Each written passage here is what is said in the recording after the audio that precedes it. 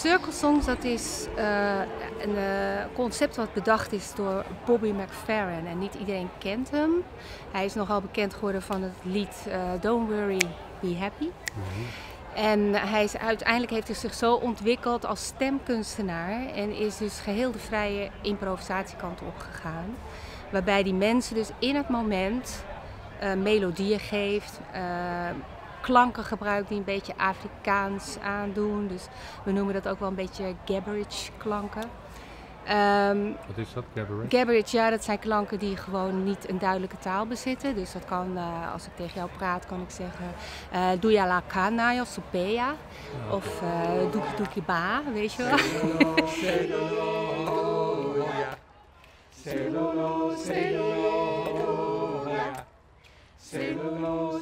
Nou, dat is dus uh, een beetje cabaret en dat heeft, kan mooie klanken ook hebben, vooral met zingen. En uh, wat de Circle dan inhoudt, nogmaals, hij heeft dat dan ooit ontwikkeld. En ik denk de traditie van uh, gospel zit daar ook wel een beetje in. Want dan heb je ook mensen die constant een herhaling hebben in een bepaalde lijn. En dan komt er een liedzanger naar voren. Dus daar loopt de stroom van. Maar dit, uh, dit concept dat vond ik uh, ja, zo mooi. Ik had het al eerder gedaan. En wat ik er mooi aan vind is dat je in het moment eigenlijk iets creëert met mensen. Hey, yo, ja, ja. Hey,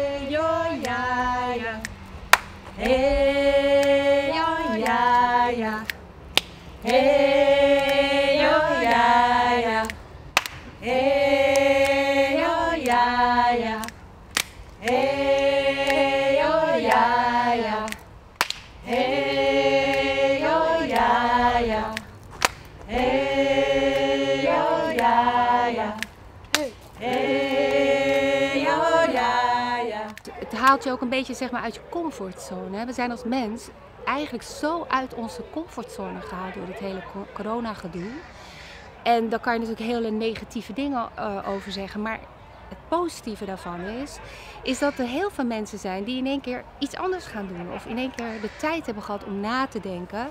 Wat vind ik nou eigenlijk leuk? Vind ik mijn werk wel zo leuk? Of zou ik niet een studie kunnen doen? Of wat dan ook dat is het effect van als je soms als mens uit je comfortzone wordt gehaald. Mhm. Dat doet Circle soms ook. Want ja, je, je moet meedoen en je weet niks. En, en, en dat is heel inspirerend. Het zijn hele inspirerende dingen.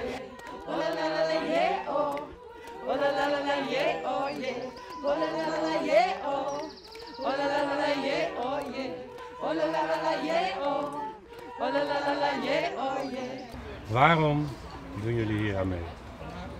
Nou, uh, ten eerste, ik ken de uh, docenten. Dat vind ik een hele leuke vrouw. En ik weet dat ik bij haar in goede handen ben. Um, en ten tweede, uh, Circle Songs is een hele leuke manier om te improviseren en samen muziek te maken. Dus het is heel vrij en vrolijk eigenlijk. Oké. Ja. En heb je ook al meer ervaring met zingen? Ja, best wel. Ja? ja? ja. Op, op wat voor manier? Uh, nou, ik ben uh, jazzzangeres, dus ik hou erg van uh, improviseren.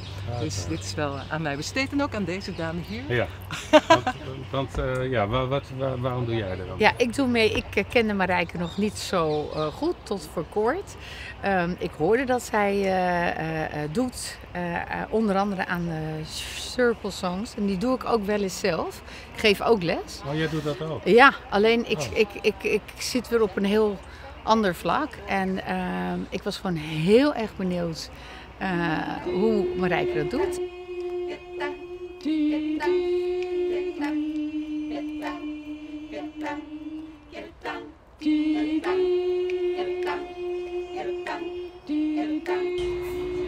Ja, het is misschien mijn vijfde keer of zo. Vijfde keer? Ja. En waarom, en waarom doe jij hier aan mee?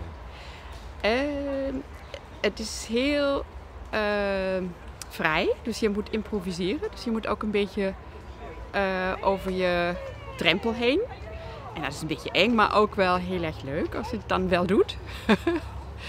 en um, het is iedere keer weer anders. Dus dat vind ik ook leuk. Oh,